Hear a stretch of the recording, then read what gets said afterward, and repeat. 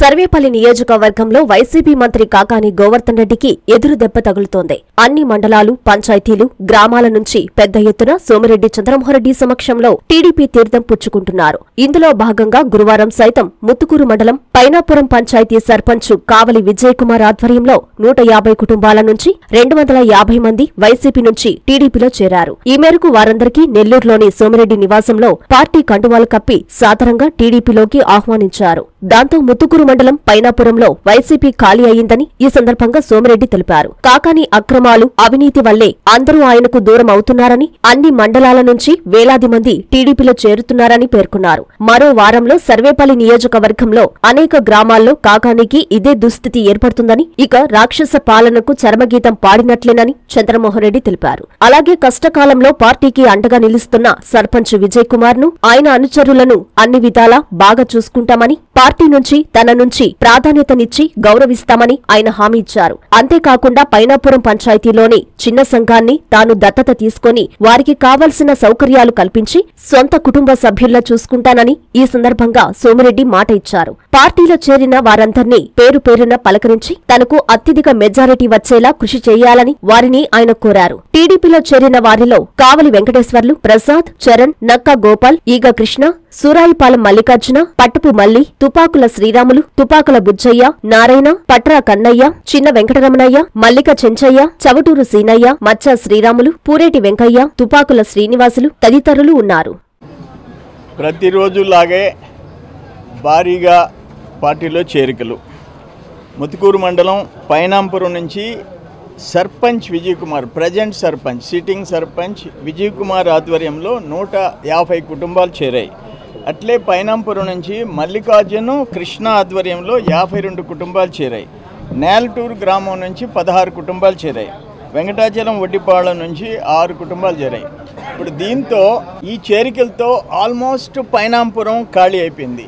నేలటూరు ఖాళీ అయిపోయింది. వెంకటాచలం వడ్డిపాళెం కూడా వన్ సైడ్ అయిపోయింది.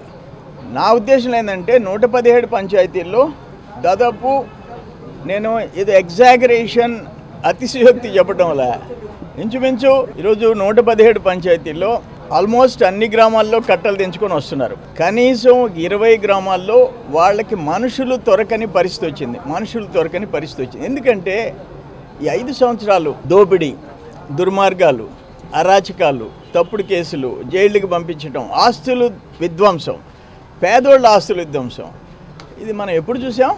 సర్వేపల్లి చరిత్రలో చూసామా? లేదే? First time in the history నెల్లూరులో కూడా మేము ఎప్పుడు చూడలే. అనవాళ్ళతో పోరాడాం నేదురుమల్లితో పోరాడాం రాజశేఖర రెడ్డితో పోరాడాం. మా జోలికి రాలే. నా మీద ఇరవై మూడు కేసులు. ఇరవై మూడు అంటే ఇప్పుడు లెక్క చూస్తే నేను పదమూడు అనుకుంటుండే ఇరవై మూడు కేసులు. ఇక నా మీద ఇరవై మూడు పెడితే కొరవల మీద పెట్టేదానికి ఏముంది? నేనేమి నకిలీ మద్యం కల్తీ మద్యం సప్లై చేసి నేను చంపలే. నకిలీ పత్రాలు విదేశీ పత్రాలు విదేశాల్లో ఇమిగ్రేషన్ స్టాంప్స్ బ్యాంక్ ఖాతాలు సృష్టించి అపోజిషన్ ప్రతిపక్ష పార్టీల నాయకుల మీద అటువంటి ఆరోపణ నేను ఎప్పుడూ చేయలే. ఏదున్నా జనం కోసం పోరాడాం జనం కోసం బతికాం జన సమస్యల పరిష్కారం కోసం కృషి చేశాం. First time.